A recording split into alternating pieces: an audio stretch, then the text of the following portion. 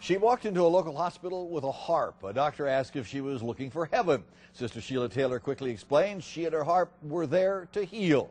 Health Watch reporter Kelly Eckerman tagged along.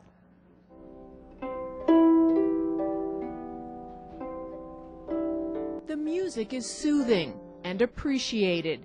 It fills the hospital room of cancer patient Rebecca Imbo, who's battling severe pain. It's very relaxing, um, focusing through your pain. It's very soothing. I wish they could do it all the time for everybody. Ill patients often have a hard time sleeping. They may be anxious or in pain. Studies have shown music can help, and that's what brought Sister Sheila Taylor and her harp to Providence Medical Center. I can tell when I'm in the room after I've played for 10 or 15 minutes that their heart rate is a little more even, that it has brought their uh, respiration down, their blood pressure down.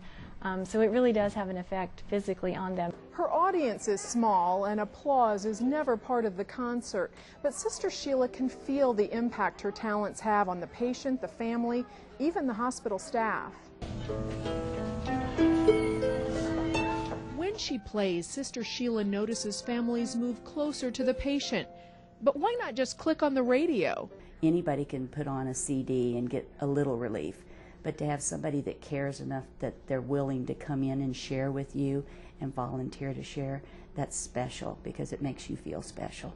The music is kind of the communication where you don't need words. Most very ill patients cannot converse and I don't really talk to them. I just play the music, and I think the music is a bridge between me and them.